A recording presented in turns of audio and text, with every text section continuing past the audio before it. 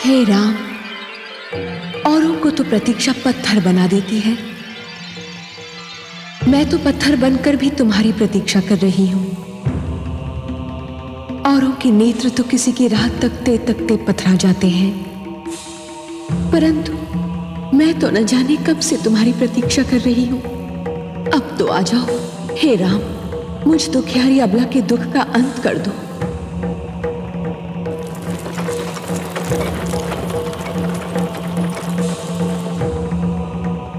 धन्य है। वायु का ये झोंका, जो मुझ तक तुम्हारे कमल चरणों की धूल की सुगंध लाया है, तुम आ रहे हो, तुम अवश्य आ रहे हो। मुझ दुखियारी के दिन फिरने वाले तुम मेरे कल्याण के लिए मेरे समीप आ रहे हो। हे राम हे राम। रथ रोको सारथी।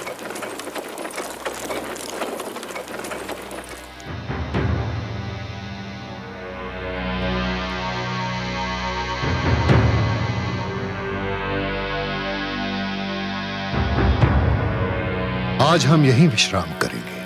गुरुदेव इस उजड़े आश्रम में क्या यह स्थान विश्राम के लिए उचित रहेगा? यह सबसे उत्तम स्थान है शीश हम यहाँ नहीं आए। ये उजड़ा हुआ आश्रम स्वयं हमें यहाँ खींच लाया है। हे राम हे राम हे राम हे राम। हे राम हे राम हे राम हे राम हे राम। ये मुझे कौन पुकार रहा है गुरुदेव? तुम्हें ये पुकार रही है। शिष्य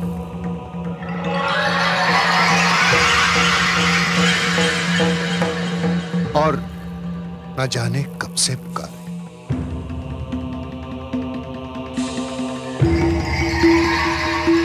किंतु ये तो पाषाण की प्रतिमा है गुरुदेव। हाँ है। इस प्रतिमा को अपने चरण से स्पर्श कर दो शिष्य। जी। इस पत्थर की मूर्ति को अपने चरणों से छू। गुरुदेव गुरु के आदेश पर प्रश्न चिन्ह लगाना ना तो शिष्य को शोभा देता है। और ना ही उसका अधिकार है। किंतु हे गुरुदेव, नारी पत्थर की भी हो, तब भी आदर सम्मान के योग्य होती है। उसे चरणों से छूना महापाप है। मुझे नारी के इस अनादर का साहस नहीं हो रहा है, गुरुदेव। नारी के प्रति तुम्हारी पवित्र भावना जानकर मैं गदगद हो गया शिष्य मुझे ऐसे शिष्य पर गर्व है। मैं स्वयं किसी को नारी का अनादर करने की अनुमति नहीं दे सकता। परंतु ये ये एक विचित्र विडंबना है कि इस नारी का कल्याण इसी में निहित है। इसे अपने पैरों से छूकर तुम इसका अनादर नहीं इसका उद्धार करोगे पुत्र। कौन है ये देवी? ये दुखियारी अबला ऋषि गौतम की पत्नी अहिल्या है। मेरा अपराध होकर भी न जाने कब से पत्थर बन जाने का दंड भोग रही है।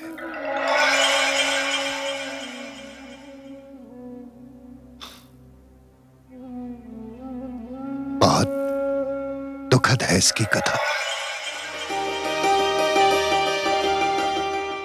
देखा? देखा अपने चंद्रदेव? कितनी सुंदर नारी है अहल्या। किंतु देवराज आप चाहते क्या हैं? मैं मैं उसे पाना चाहता हूँ। तो क्या उसे पा लेना आपके वश में है? हाँ। यदि तुम मेरी सहायता करो तो। मैं? मैं क्या कर सकता हूँ? तुम्हें कल अपने क्षितिज से हटने के निर्धारित समय से पहले कुछ समय के लिए आकाश से लुप्त होना होगा।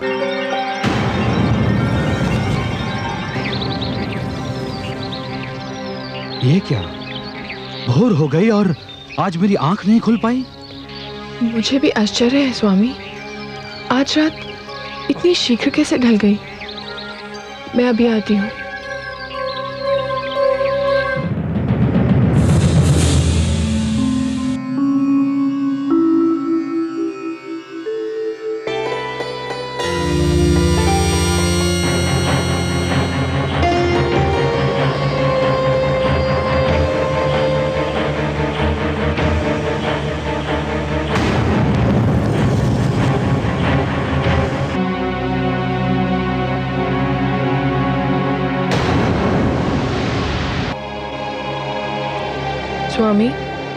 बताइए ना आप इतना शीघ्र क्यों लौट आए?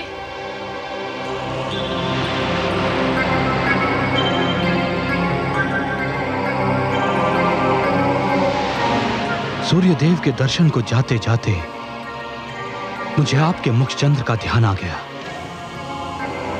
मैं विचलित हो उठा। स्वामी ये आज आपको क्या हो गया है?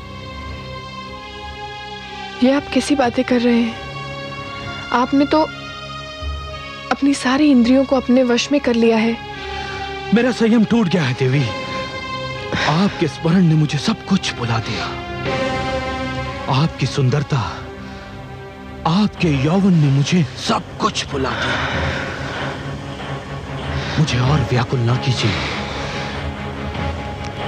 अपने अधरों की मदिरा से मेरी प्यास बुझा दीजिए। अरे, ये क्या? चंद्रदेव? परंतु ये चंद्रदेव कहाँ लुप्त हो गए थे? अभी तो सूर्योदय में विलंब है। मुझे आश्रम लौट जाना चाहिए।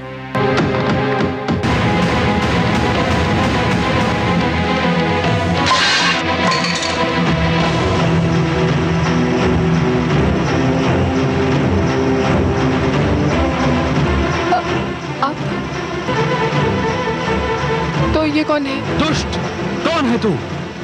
अपना वास्तविक रूप दिखा मुझे। तो ये तू है इंद्र।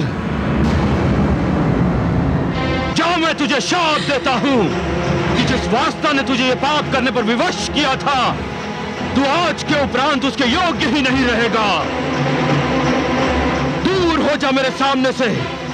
दूर हो जा। मुझे क्षमा कर दीजिए स्वामी। क्षमा कदापि नहीं। तेरा शरीर अपवित्र हो चुका है। तेरी आत्मा अपवित्र हो चुकी है। जा मैं तुझे शाप देता हूँ। इसी क्षण तू पत्थर बन जा।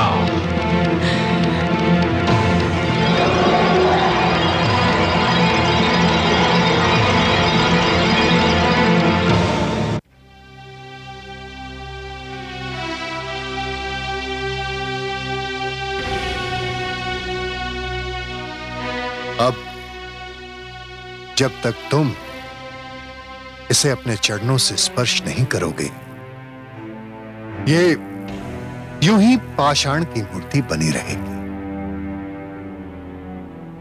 इसके कल्याण के लिए तुम्हें मेरे आदेश का पालन करना होगा, शिष्य। जो आज्ञा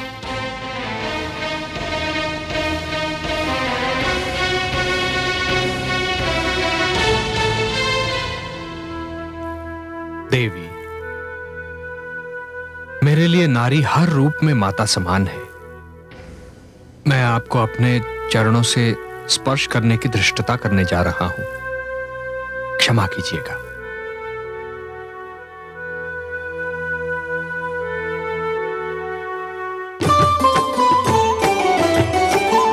अचरज भयो जगत में भारी। शाप मुक्त भई अबला नारी। पावन चरण राम को लागा ऋषि पत्नी पाहन तन त्यागा ऋषि पत्नी पाहन तन त्यागा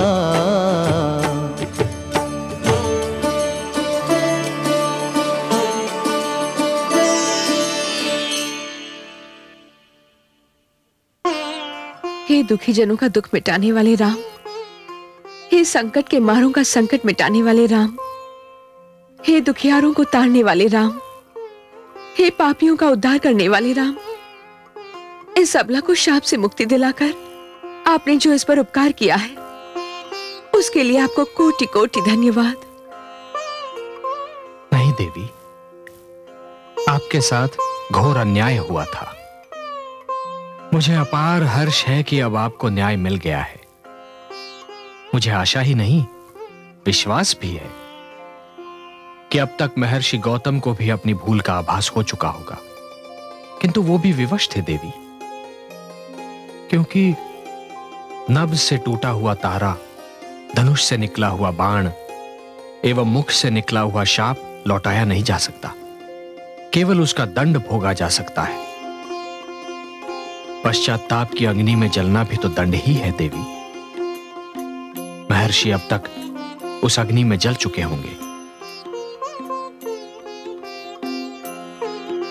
गुरुवर, यदि इस उजाड़ स्थान पर मुझे लाने का यही उद्देश्य था तो वो पूरा हुआ। अब हमें यहाँ से प्रस्थान करना चाहिए। ऋषि श्रेष्ठ!